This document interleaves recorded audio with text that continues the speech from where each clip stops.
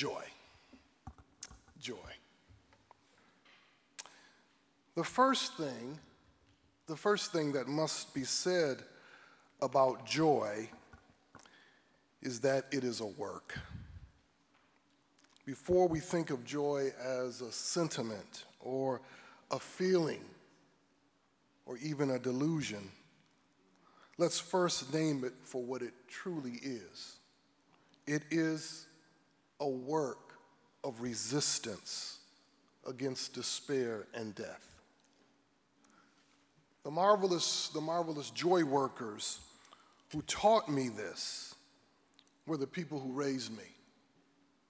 I was raised by people of the dirt, of the earth, who lived on land that they did not own and who raised crops for people who would never pay them an honest wage for their back breaking labor. My people were sharecroppers in the South who turned their dreams toward the North and toward what Isabel Wilkerson called in her marvelous book, The Warmth of Other Suns. The black folks who raised me lived in the constant showers of racial oppression and disappointment, moving from the Jim Crow South to the racist North, from racist straw bosses to racist factory foremen, from Southern struggles to Northern struggles from old forms of being underpaid and overworked to new forms of the same situation.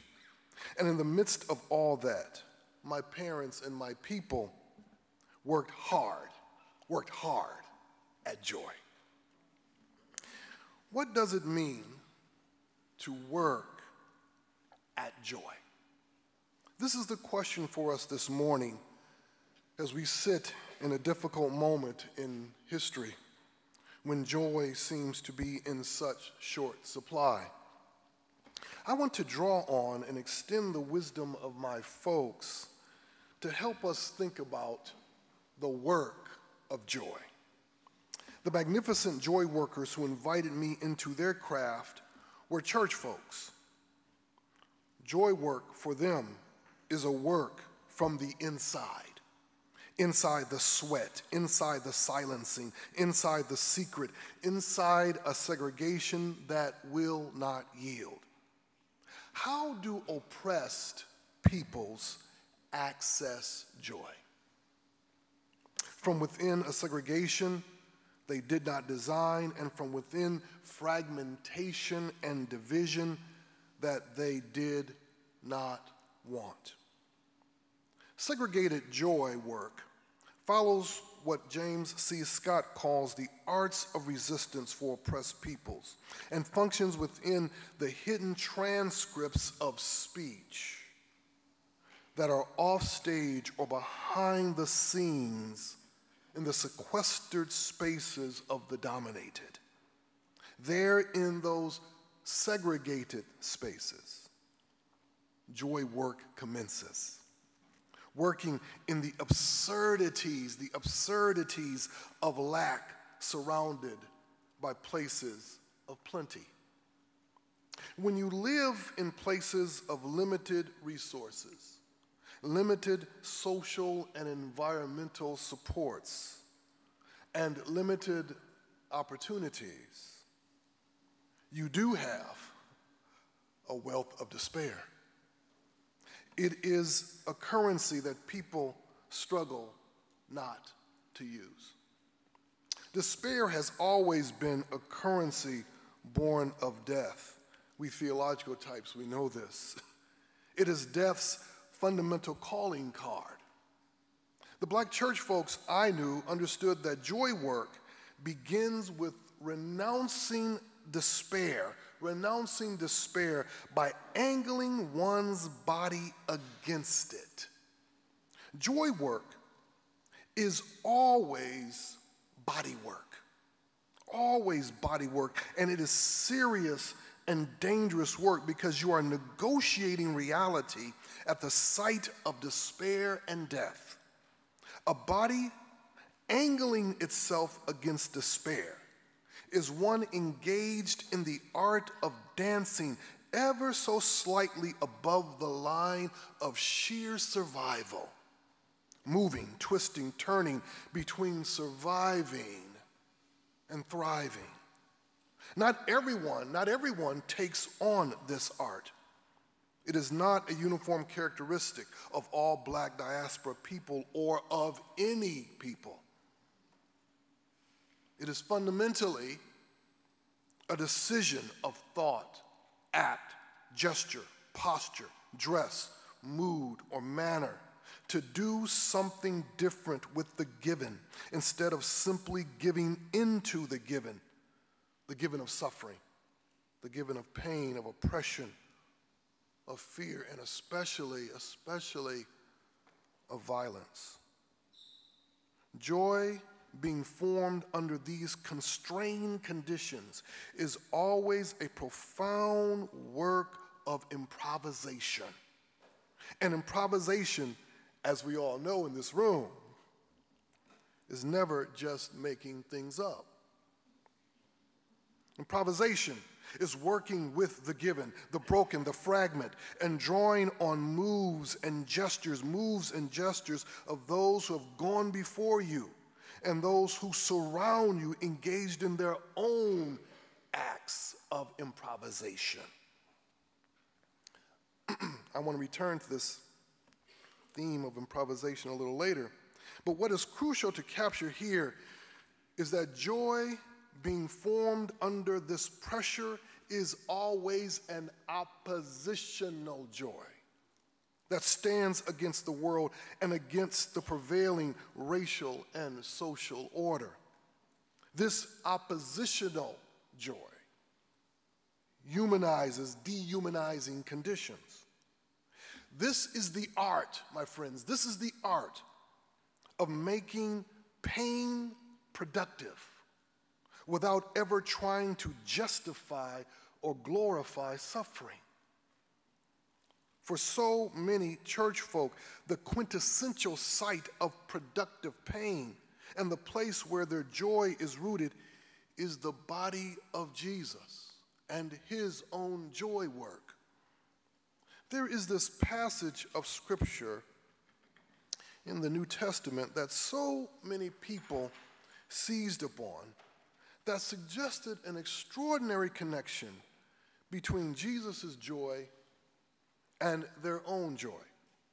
Found in Hebrews chapter 12, verse 2, it states, looking to Jesus, the pioneer and perfecter of our faith, who, for the sake of the joy that was set before him, endured the cross, disregarding its shame, and has taken his seat at the right hand of the throne of God. My folks and so many other people of color saw in Jesus a joy that sustained him through his criminalization, his isolating shaming, his torture, and of course, his capital punishment. Jesus' joy was a joy found in contradiction, not in the resolution of contradiction. It was a joy sustained, that sustained him in conflict, never eradicating the conflicts he faced. Jesus' joy inside constrained conditions not only matched the constrained conditions of black life, but it also captured, captured those conditions, brought them into the divine life, and made Jesus an insider in the work of joy and made joy work for so many Christians of the black diaspora a work inside Jesus himself, a work inside his body. Their joy was born of their deep faith in and their love for Jesus, their every step in the footsteps of Jesus. Each day, that asking that his joy would be their joy.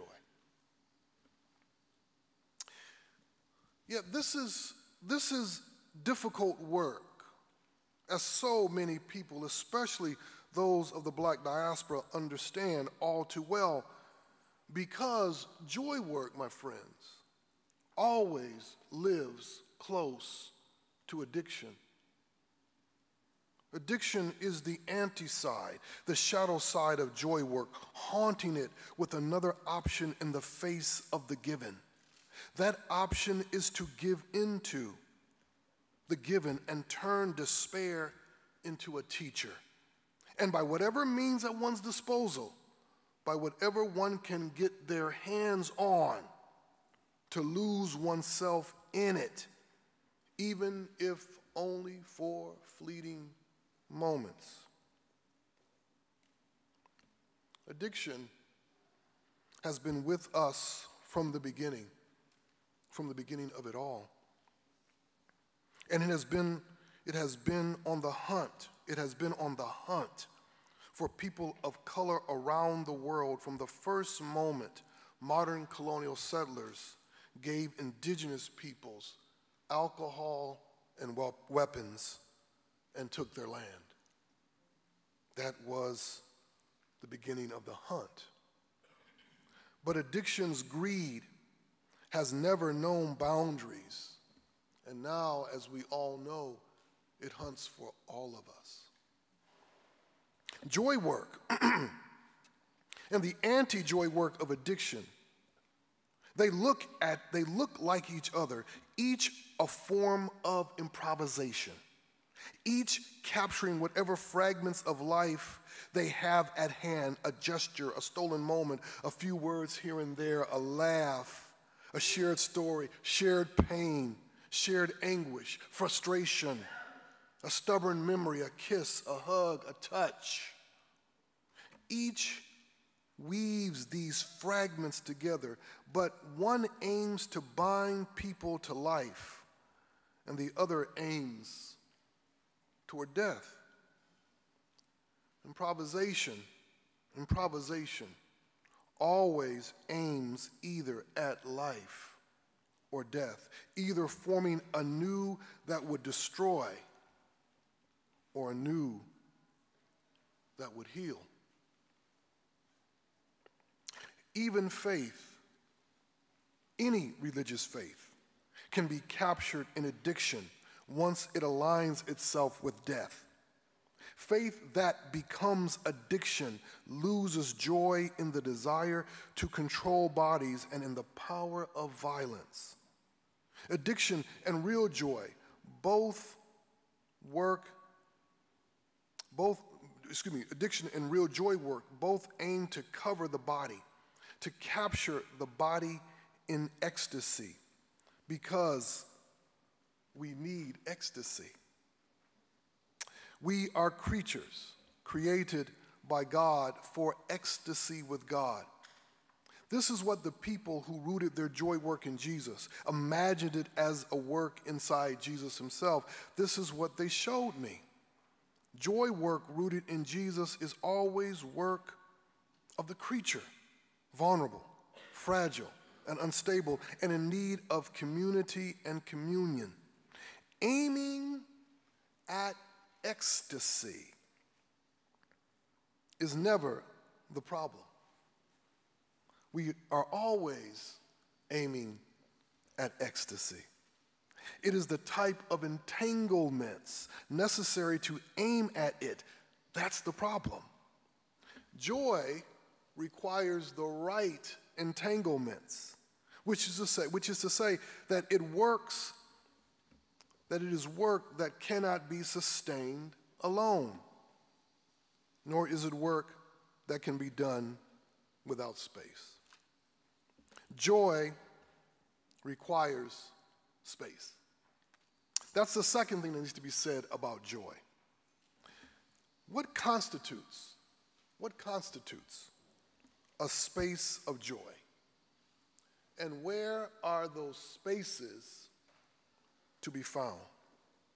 For so many diaspora peoples, the spaces of joy have been sequestered spaces, segregated spaces, where the pleasures of unguarded speech, unguarded speech, is often coupled with aesthetic pleasure. This space could be what I call cultural nationalist space, which is space of a people, by a people, and for a particular people that conducts the performances and rituals of enjoyment. This fact is to be both celebrated and mourned. Just as much as geography matters in structuring pain and suffering, oppression and domination, and of course, death, geography matters in joy work. In specific places, a people can repeat their joy and know themselves, know themselves in the repetition. For many black folks, that place would be the church, but it could also be a good club. I say a good club. A good club. Or a bar. I mean, a good bar. A gym, a barber shop, a beauty shop, someone's home, and even a street corner. You need a place to teach people how to make joy, a place that can also teach them how to handle the contradictions of life. Yet the space of joy is also a psychic space of emotional and spiritual habitation.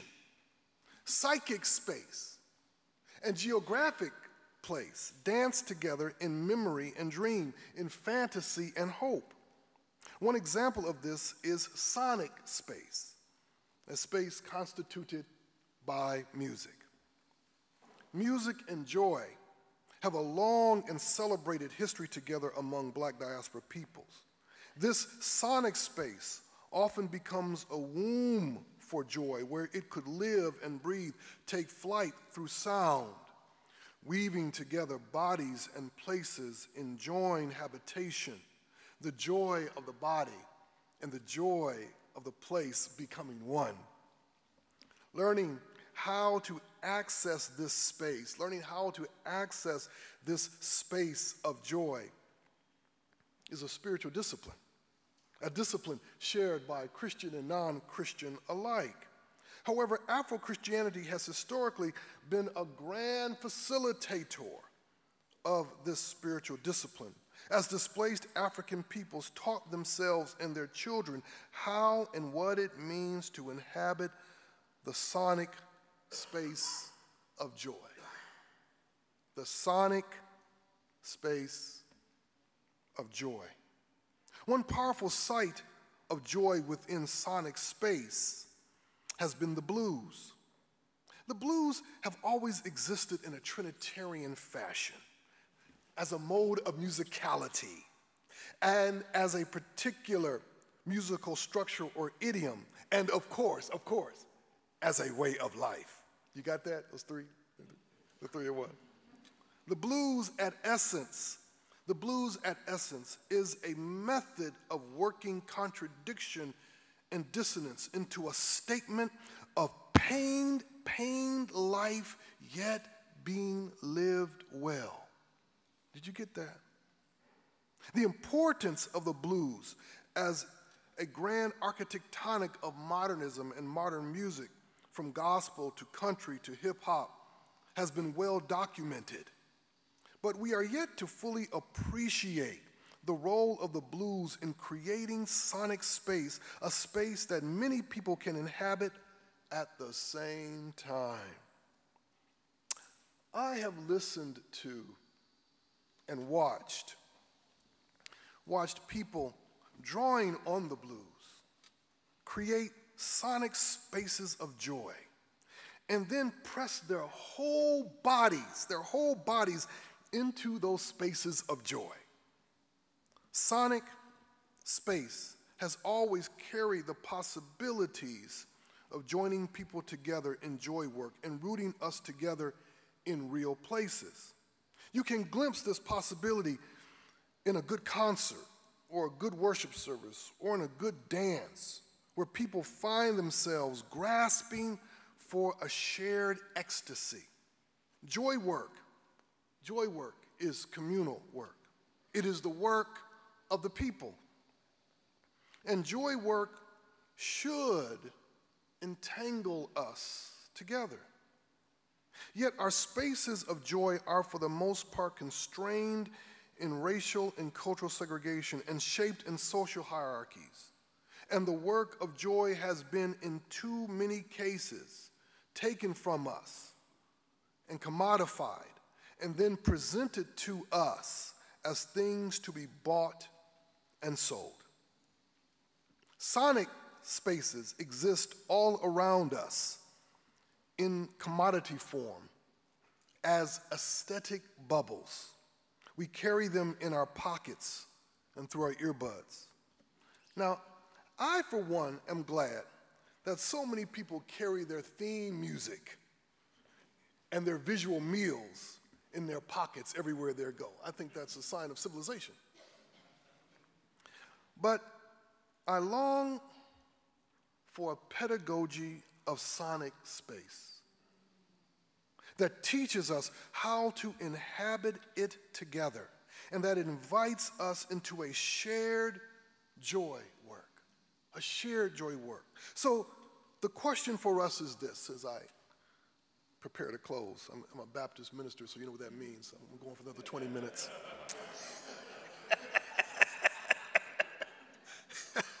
you say prepare to close just to keep people interested, but you keep on going. so, so, the question for, so the question for us is this Is there the possibility of a joy that joins? joins people who would never imagine their joy work together, but usually are forced to imagine their joy work in isolation or either against one another for fear of exploitation. This, it seems to me, is a crucial question for Christianity, but for every other religion. If the joy of a religion sustains its adherents, even in the face of the brutalities of life and over against the addiction of violence in all its forms. Has that joy work exhausted itself in that very work, in that very work of survival? I think not. Because if joy is a reality of the creature, then joy is always an opportunity to link us in ways only limited by our imagination. Too many Christians, however, continue to promote segregated joy work through the limited ways we imagine life together, bound as it is by racial reasoning and geographic segregation. What I learned from my people a long time ago is that Jesus presents a joy that gathers. His joy gathers its strength from the cloud of witnesses of God's faithfulness. Yet, even further, his joy draws life from the life of God. The joy of life with God that marked the life of his people also marks his life in extraordinary ways. It is a joy he once shared among his disciples. The words from John chapter 15, 8 through 13, point this, point this out to us. My Father is glorified by this, that you bear fruit and become my disciples. As the Father has loved me, so I have loved you. Abide in my love. If you keep my commandments, you will abide in my love, just as I have kept my Father's commandments and abide in his love. I have said these things to you so that my joy may be in you and that your joy may be complete.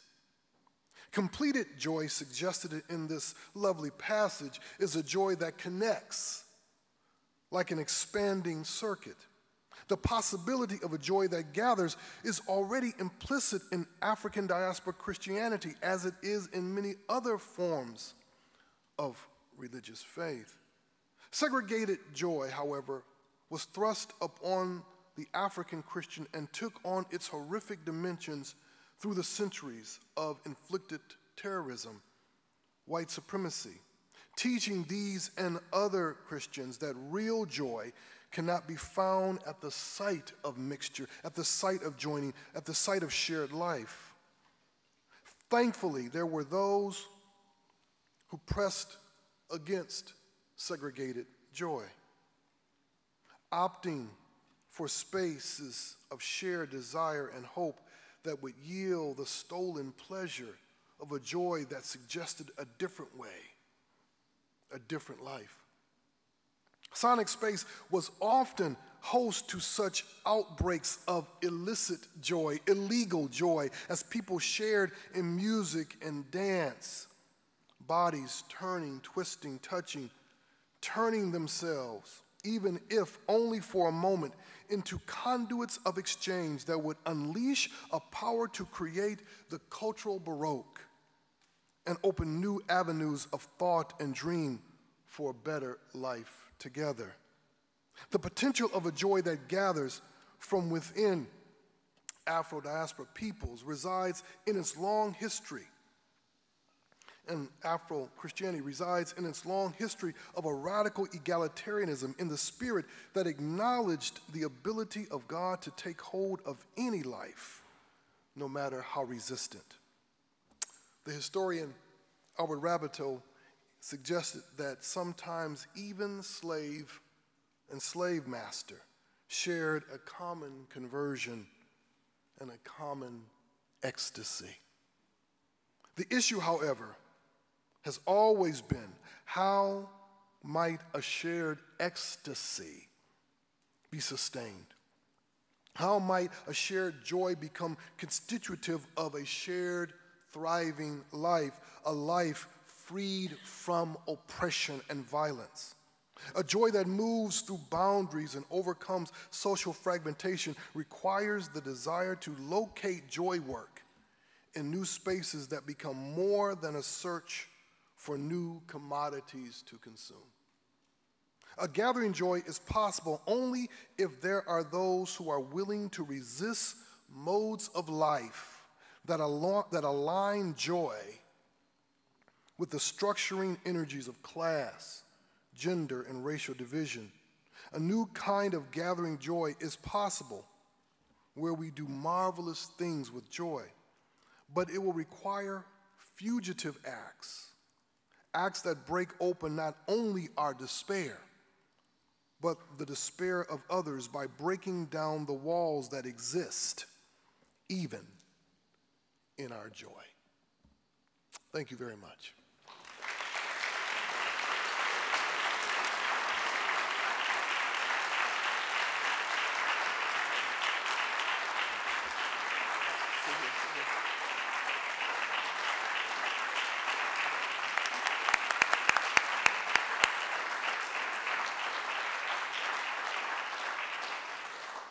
Think, I think we have a, few minutes for, uh, for a, few, a few questions. There should be, I see one mic, or there's another, two mic runners. Um, so if you have a question, raise your hand and we can get a mic to you. And so please tell us your name and where you are before, yeah. you, before you give us your question. That'd be great. Awesome. And uh, please be brief. Do you want to field your own question? I'll be glad to. Thank you so much. That was just so powerful. David Holmes, uh, Pepperdine University. Um, I'm wondering if you could just say a little bit more about uh, these spaces of joy, and you mentioned the church and some other places, and how, if at all, they differ from uh, some of the work that's been done for years on hush harbors. Yes. Yeah. Yeah. Well, obviously, historically, spaces of joy for so many African diaspora people began in places like hush harbors. But as um, I mean, um, I'm, I'm thinking of something Fred Moten, once said to me that um, it, it would be possible even to imagine the emergence of joy work in the whole of a slave ship. People chained together, death all around them, beginning to try to do that work there to survive the absurdity of a space that is nothing but death bound to commodity form. So I think there, there's a, a, a, um, a deep connection between all the spaces where oppressed peoples find that they have been sequestered into the places of the secret and the beginning of joy work. And as I said, it's to be celebrated but also mourned because it is, it is a space that should not be in the way it is as a space.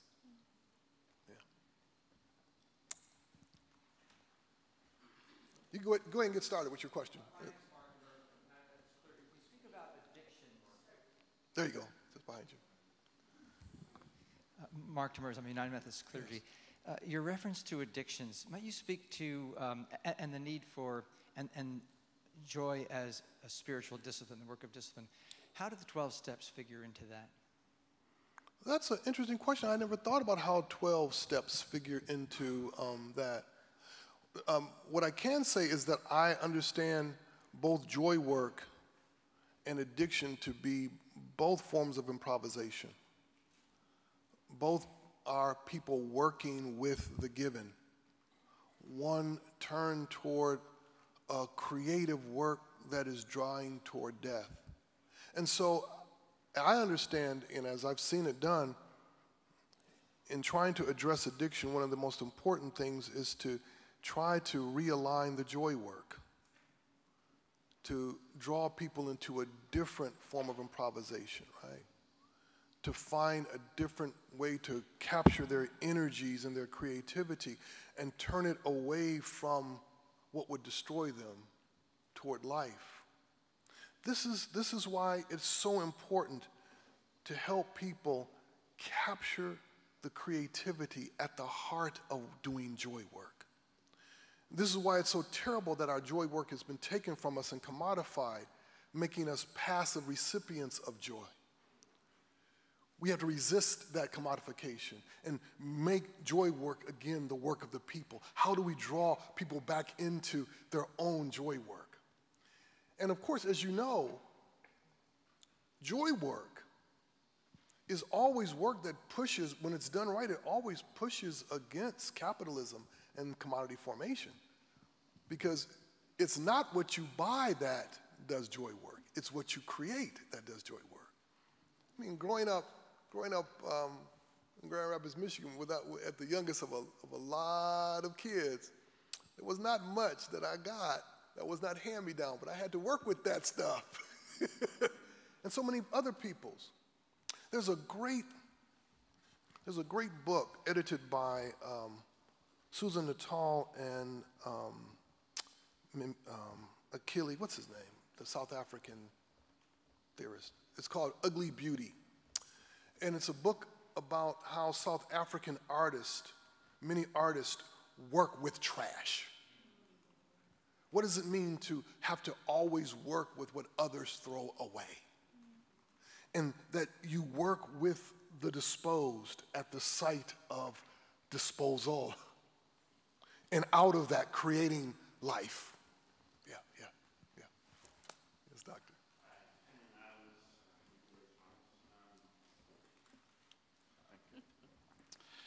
So my question, uh, you've, you've spoken a lot about the bodiedness of joy. You talk about possibilities of joy in space and how those spaces could be potentially embodied, shared spaces, assuming all through bodiedness. Can you say something about whiteness uh, in relation to joy, but also the bodiedness? Because most spaces that are the sort of negative to the spaces you're describing, particularly, have a givenness of whiteness, or whiteness claims and proposes a mm. kind of givenness. Mm-hmm. What does it mean if there is this kind of default or a givenness which is disembodied? Mm. How then do we imagine even um, entering those spaces or proposing joy in those spaces?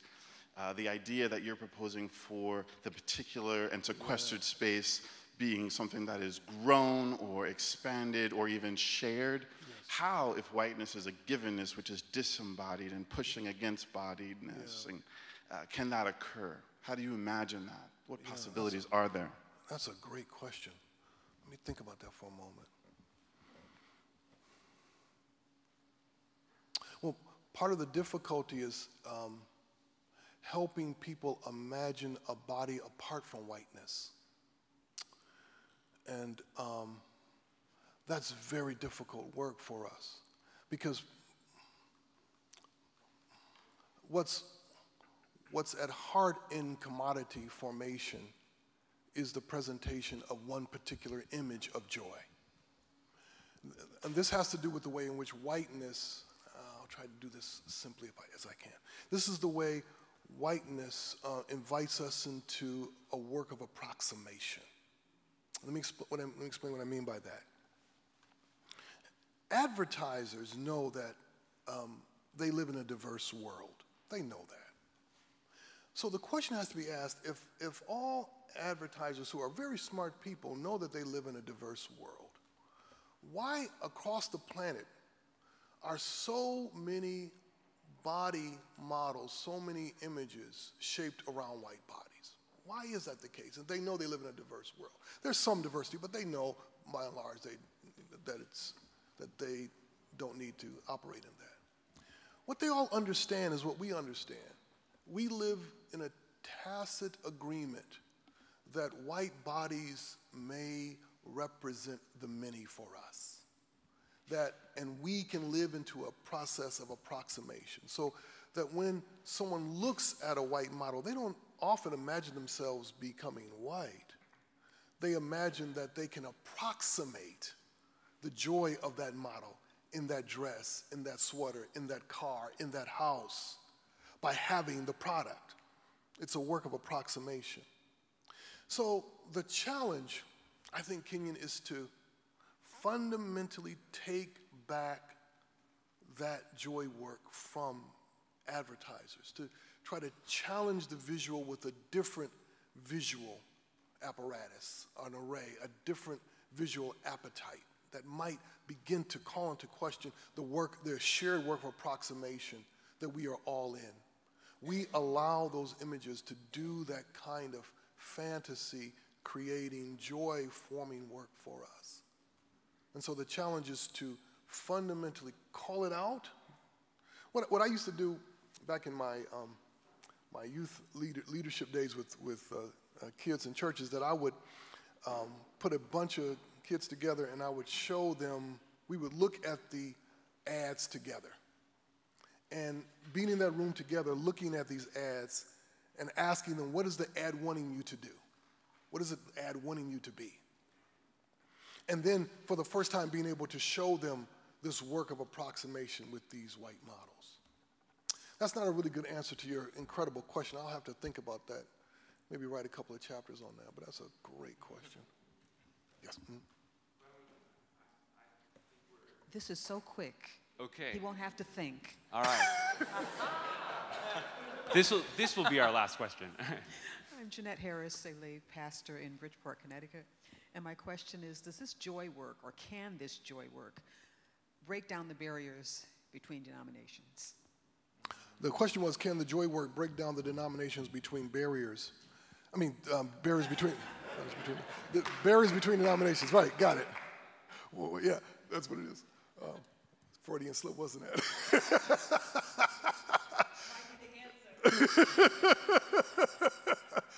I, I would hope so. But um, I think part of the challenge is to see this as work that must be shared. And it must be shared in particular places. So it's um, the joy work of particular churches and synagogues in particular communities trying and, and mosques in particular communities trying to gather people together and think out loud together about how we do joy here in this place. That's joining me in thanking you. Lord. Thank you.